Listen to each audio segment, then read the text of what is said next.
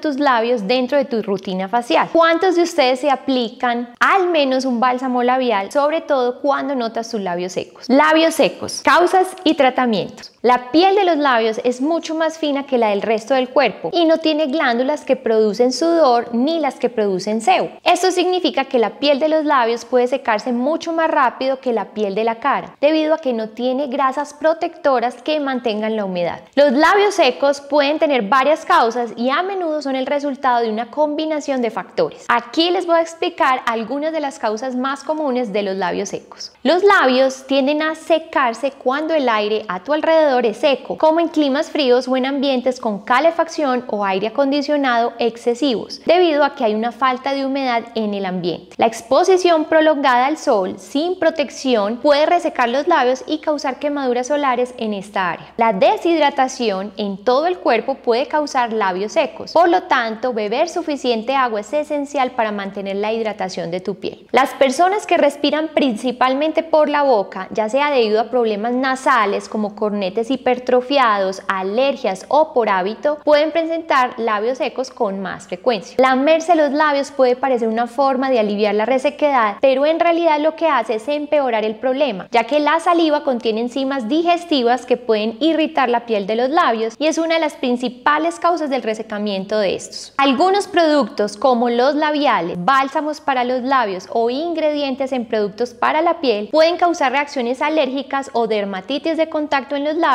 lo que puede causar resequedad, descamación, picor y enrojecimiento. Algunos medicamentos como los retinoides orales, como la isotretinoína, y los retinoides tópicos utilizados en el tratamiento para el acné, pueden causar resequedad en los labios como efecto secundario. Fumar cigarrillo puede resecar los labios debido a la exposición al calor y los productos químicos que se encuentran en el humo. También algunas enfermedades como la dermatitis atópica o la psoriasis pueden causar que los labios se resequen con mayor frecuencia. La falta de vitaminas y minerales esenciales como la vitamina B o el hierro también pueden contribuir a la resequedad de estos. En algunos casos menos frecuentes está el síndrome de Jogren, la cual es una enfermedad autoinmune que causa resequedad de las mucosas y de los labios. En cuanto a los tratamientos, una de las principales acciones que se deben tener en cuenta es evitar el factor que está causando la resequedad labial. Entre estas medidas que debes tener en cuenta es tomar más agua, especialmente si hay signos de deshidratación hidratación, como cuando las personas pasan mucho tiempo al aire libre o consumen demasiado alcohol. Si el aire en tu entorno es seco, considera usar un humidificador en tu hogar o lugar de trabajo para mantener la humedad en el ambiente. No te lamas los labios. Aunque esto parece simple, es muy frecuente que los pacientes lo hagan de forma repetitiva y sin darse cuenta. Aun cuando te apliques diferentes productos para mejorar la hidratación de los labios, la saliva causará irritación y se volverá un ciclo vicioso donde los labios no mejorarán. Mientras más lo hagas, más secos los sentirás y más los lamerás para rehidratarlos. Si tienes los labios agrietados o descamativos, también debes evitar morderlos y retirar la piel seca, debido a que esto puede retrasar el proceso de sanación, hacer que los labios sangren o propiciar una infección. Evita usar exfoliantes labiales debido a que esto puede ser agresivo con tus labios y causar mayor resequedad, irritación y descamación. Aplícate un bálsamo labial frecuentemente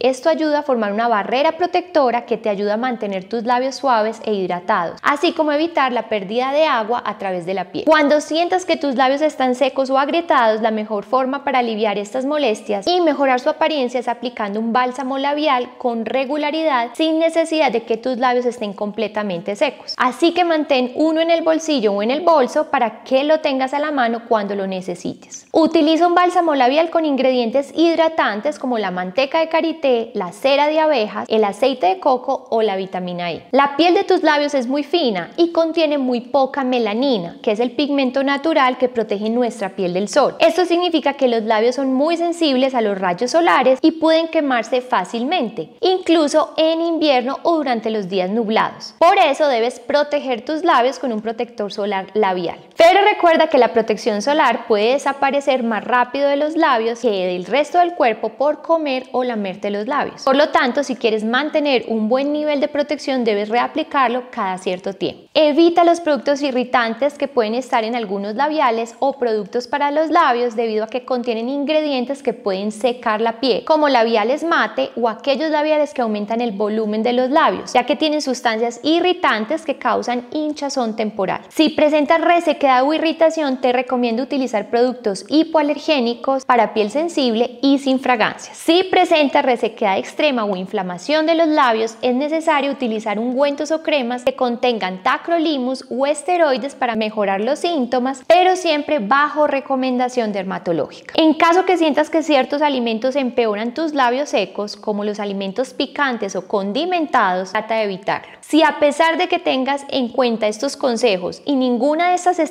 funcionan, es importante consultar con tu dermatólogo para descartar una enfermedad de base como el síndrome de Sjögren. Espero pues que les haya gustado mucho mi video, no olviden suscribirse y darle clic a la campanita, así como seguirme en mis redes sociales.